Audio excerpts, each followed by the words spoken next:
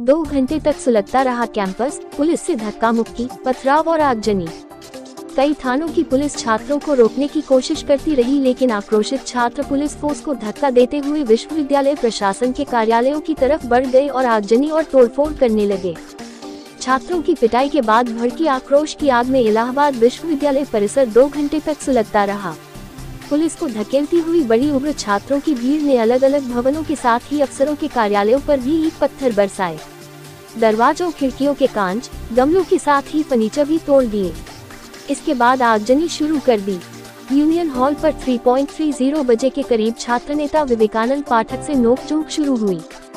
आरोप है कि पाँच से दस मिनट के बाद ही डंडो लोहे की रॉड व असलहों से लेस गार्डो ने छात्रों पर हमला बोल दिया। इससे चीख पुकार मच गई। यह सुनकर यूनियन हॉल गेट के बाहर खड़े छात्र भीतर की ओर दौड़े। इसी दौरान सूचना मिलने पर वहाँ कुछ ही देर में बड़ी संख्या में छात्र जुट गए और फिर उन्होंने गार्डो को खदेड़ दिया। साथ ही सूचना देकर साथियों को बुला लिया। इससे कुछ ही देर में वहाँ बड़ी संख्या में छात्र जमा हो गए। तब तक कर्नलगंज पुलिस मौके पर पहुँच चुकी थी। इसी दौरान आक्रोशित छात्रों ने डेलीगेसी के सामने खड़ी कार में तोड़फोड़ शुरू कर दी। सूचना मिली तो डीसीपी नगर संतोष कुमार मीना शहर के कई थानों की फोर्स लेकर पहुँचे और छात्रों को समझाने की कोशिश की। लेकिन कोई फ़ायदा नहीं हुआ और छात्रों ने नारेबाजी शुरू कर दी और यूनियन भवन के पास पहुंचकर आगे बढ़ने की कोशिश करने लगे। छात्रों के सड़क पर लेटने और उनके आक्रोश को देखते हुए सड़क पर दोनों ओर वाहनों का आवागमन रोक दिया गया।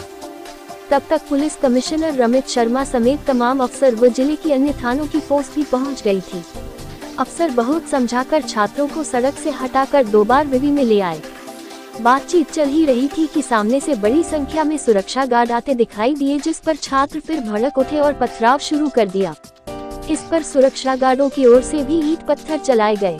पुलिस अफसरों ने गार्डों को सुरक्षित निकालकर छात्रों से फिर बातचीत शुरू की। इसी दौरान छात्र रजिस्ट्रार कार्यालय के सामने धरने पर बैठ गए।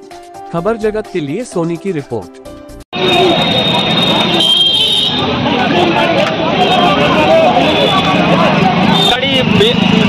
गाड़ी कैसे डॉक्टर साहब गाड़ी कैसे तोड़ा गया है? ये उपद्रवी छात्र जो गुंडा तत्व हैं विश्वविद्यालय में जिला प्रशासन उनको काबू नहीं कर पा रहा है। वो लोग एक सामान्य अध्यापक जो मेहनत करके क्लास पढ़ाता है अपनी ड्यूटी का निर्वहन करता है गाड़ी विश्वविद्यालय कैंपस में खड़ा करके गया था मैं ड्यूटी करने। और मैं लौट के आया तो मुझे गाड़ी इस हालत में मिली। अपना नाम बता डॉक्टर विनम्र सेन सिंह। विश्वविद्यालय में तानाशाही चरम पे है। विश्वविद्यालय प्रशासन के सह पर गिरोह बंद। 40-50 गार्ड प्रभाकर सिंह जो गार्ड है उसके नेतृत्व में आए और यहाँ पर गोली चलाई। जानलेवा हमला किया। लाठी डंडों से लोहे के राड से मेरे ऊपर जानलेवा हमला हुआ। साथ ही साथ 10-15 और छात्रों पे जानलेवा हम, हमला हुआ। देख सकते हैं किस तरीके से उन लोगों ने हमला किया है। और जबकि असिस्टेंट प्रॉक्टर जो है वो आए थे बातचीत हो गई थी। सारे लोग वापस जा चुके थे। हम भी अपना आराम से यहाँ पर छात्रों के साथ बैठ के बातचीत किए लेकिन गिरोह बंद ढंग से ये लोग पूरा साजिशन जानलेवा हमला करने आए थे। ठीक ना बता दीजिए विवेकानंद पाठक।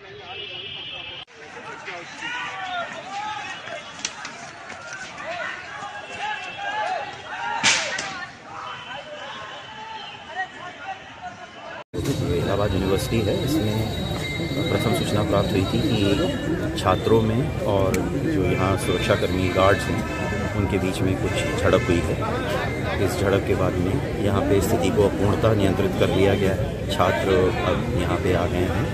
छात्र संघ भवन के पास से यहाँ पे सब आके शांतिपूर्ण बैठ गए हैं और स्थिति अपूर्णतः नियंत्रण में है। छात्रों और जो दूसरी तरफ़ से कहना है, उस चीज़ की बात जानने के लिए कोशिश की जा रही है। इनकी बात करके और जो विधिक कार्रवाई है वो सही विधिक कार्रवाई कराई जाए अच्छा वजह पता चली कि स्थिति अब पूरी तरह नियंत्रण है क्योंकि दोनों पक्षों से वार्ता हो रही है तो फिर अभी मैं और चीज़ें क्लियर कर बताता हूँ। प्रथम सूचना इतनी है कि गार्ड्स और स्टूडेंट्स के बीच में किसी बात को लेकर छड़ा गाड़ियाँ भी जलाई गई अभी यहाँ पे दो मोटरसाइकिल जो है। उसके उसका है नियंत्रण कर लिया गया है। फॉर फायर की गाड़ी आ गई है उन्होंने उसको नियंत्रित कर लिया है। छात्र इधर उधर हो गए थे उन्हें भी नियंत्रित करके एक जगह से इकट्ठा करके बता दिया गया गई स्थिति अब पूर्णतः नियंत्रण में है।